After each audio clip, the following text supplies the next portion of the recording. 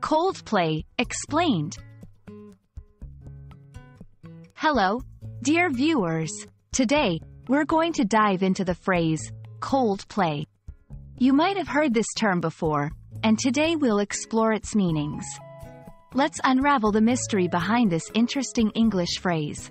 Remember, English is full of expressions and phrases that might not make immediate sense, but once you know them, they can be fun to use. Cold play, in its most literal sense refers to two distinct words. Cold, referring to low temperatures. Play, an activity for enjoyment and recreation. When taken together, they don't necessarily form a clear image. But it's essential to know the individual words, as context can sometimes use them in their literal sense. You might have come across Coldplay as a single word. In this context, Coldplay is a British rock band that was formed in 1996. They are well known for hits like Yellow, Fix You, and Paradise.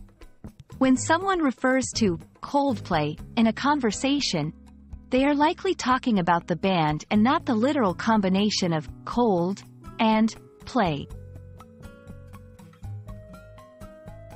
In sports and gambling contexts, cold play might refer to a strategy or action that is unexpected or unanticipated. For instance, in poker, if someone hasn't been actively betting and then suddenly makes a large bet, that could be referred to as cold play, indicating it came out of nowhere. To help you better understand, here are some sample sentences. 1. I'm going to the Coldplay concert next week. 2. The temperature is dropping. It's a cold play outside for kids. 3. He made a cold play during the poker game, surprising everyone with his bet. There you have it.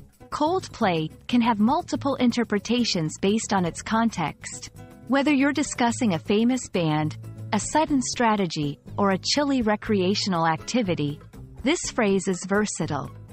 We hope this video shed some light on its varied meanings, and remember, the beauty of language lies in its richness and diversity. Keep learning, and see you in the next video.